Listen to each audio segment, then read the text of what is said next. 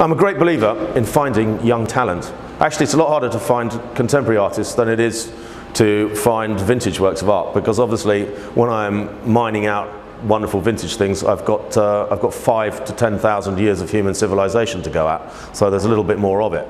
Uh, when you're looking uh, uh, at artists uh, from today, there aren't so many of them, and of the ones that are out there, very few are any good.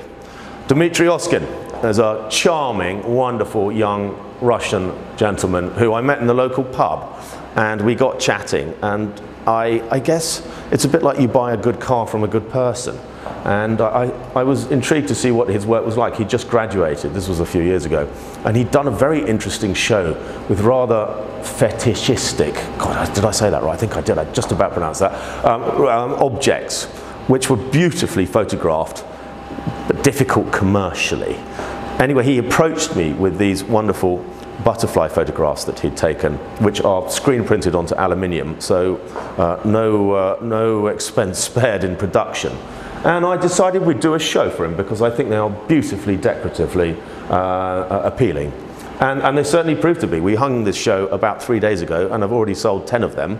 Um, they are an edition of three of each, so a very small edition, which I think is important when you're dealing with a young artist because you want to keep the work rare and try and maintain the price at a certain point. They're priced at £3,250 each, so bargain price for Lamberty really. I mean, that's entry level here.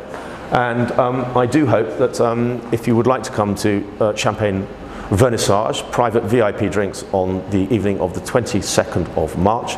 We would very much like to welcome you here.